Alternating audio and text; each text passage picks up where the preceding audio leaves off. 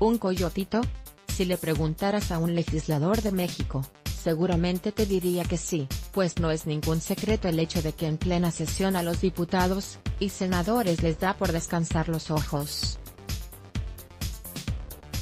El caso más reciente de un político dormilón es el de Manuel Huerta Martínez, diputado del partido Movimiento Regeneración Nacional, Morena, quien ha sido captado ya dos veces entregado a Morfeo durante las sesiones, pero lo flojo no quita lo astuto, pues el morenista aplicó la vieja confiable, y se justificó diciendo que se trataba del mal del puerco. Es una cuestión fisiológica, es normal y ocurre después de comer, es por la marea alcalina, dijo Huerta Martínez. Sin embargo, hay una lista larga de varios legisladores que han sido invadidos por el famoso mal del puerco, aquí te mencionamos algunos, Irma Lizondo. Hace cuatro años la diputada fue captada durmiendo muy agustino en el Congreso, y de acuerdo con las malas lenguas, la legisladora parecía una motocicleta por sus tremendos ronquidos que alertaron a más de uno. Foto, tomada de pan y circo Cintia Noemí Valladares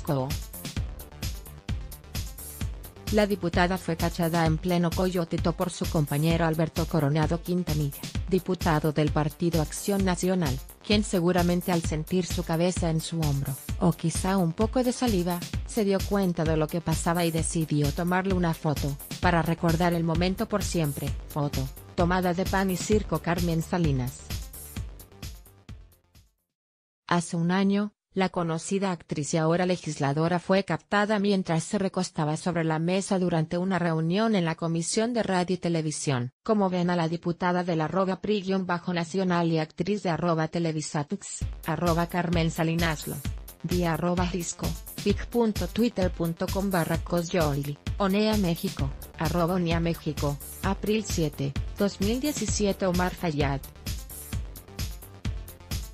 El legislador del Partido Revolucionario Institucional, PRI, fue otro de los que parecían muertos al quedarse jetón en la Cámara de Senadores. Al ver la foto cualquiera podría pensar que el priista se había desmayado.